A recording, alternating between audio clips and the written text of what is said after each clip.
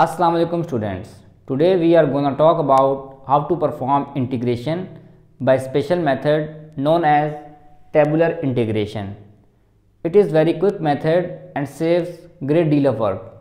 It can be applied to certain function in which one of the function is easily differentiated multiple times while the other function can be integrated multiple times.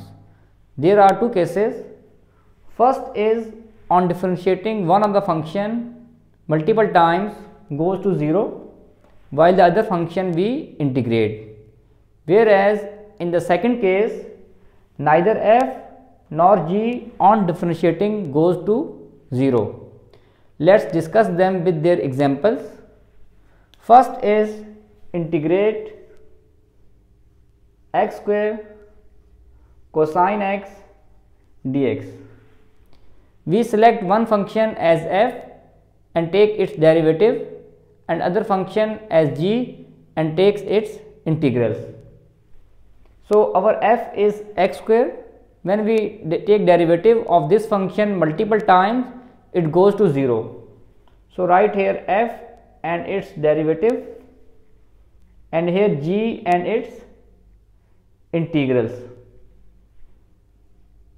x square cosine x. The derivative of x square is 2x, derivative of 2x is 2 and the derivative of constant is 0.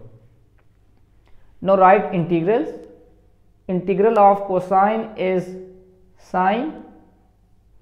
Integral of sine is minus cosine and the integral of minus cosine is minus sine.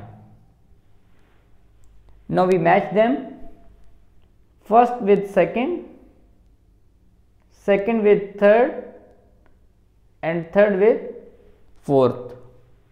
Now we write alternate sign first with positive then negative then again positive. Multiply them first term will be positive x square sin x. Next term will be minus and minus plus. 2 times x into cosine.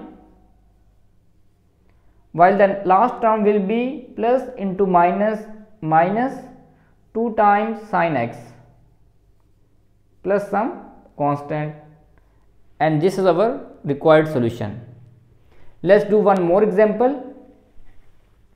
Suppose we have integrate x into ln x dx. We see on differentiating x multiple times we get 0 but on integrating ln x it is not possible so we interchange we take this function as f and this function as g so write here f and its derivative and here g and its integrals our f is ln x and g is x. When we take derivative of ln x, we get 1 upon x. When we take integration of x, we have x square upon 2. Again first with second and second with second. First sign positive, next with minus and we draw horizontal line. Now multiply we have positive x square upon 2 ln x then minus integration 1 upon 2 outside the integral and here we have x square upon x d of x. This x and this one of the x will be cancelled out and remaining we have only x dx. When we integrate x, we have last term x square upon 2 ln x. The integration of x is x square upon 2. So, we have 1 upon 4 x square plus some constant and this is our required solution. Let's do one more example.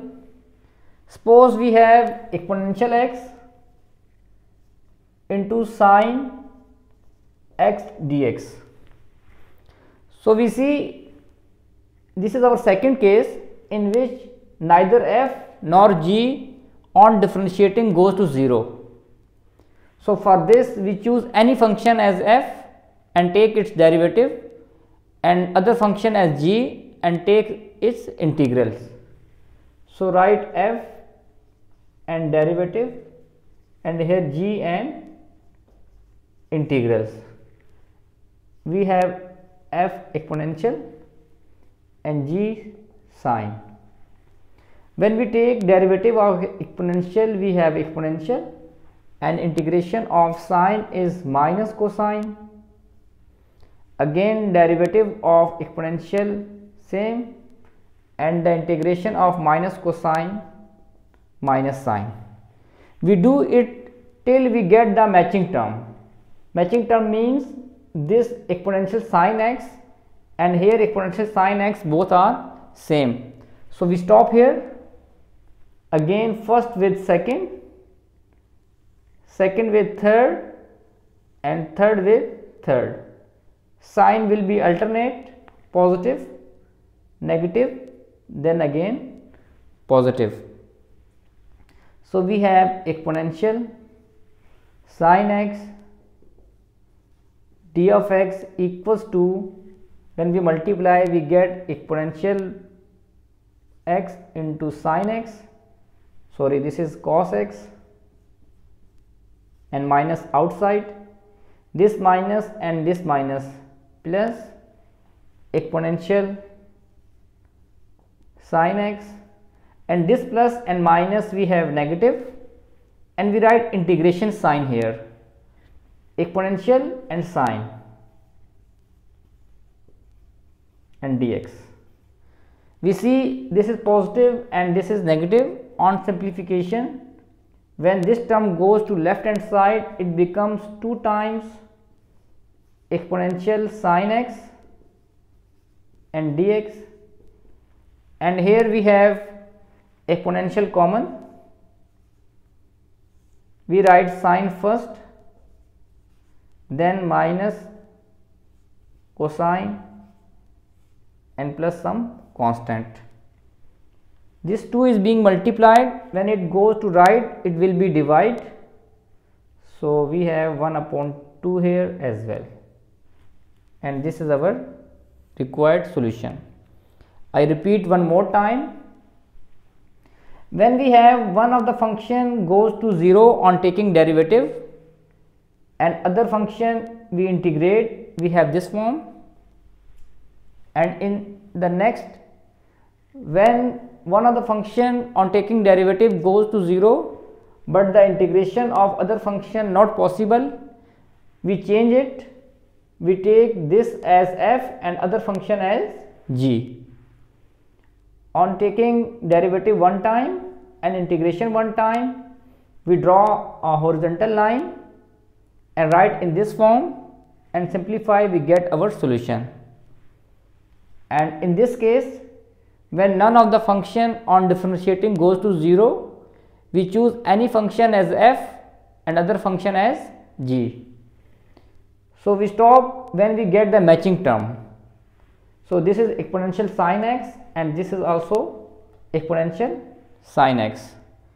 So, we write in this form and simplify and get our solution. I hope things are clear. Thank you.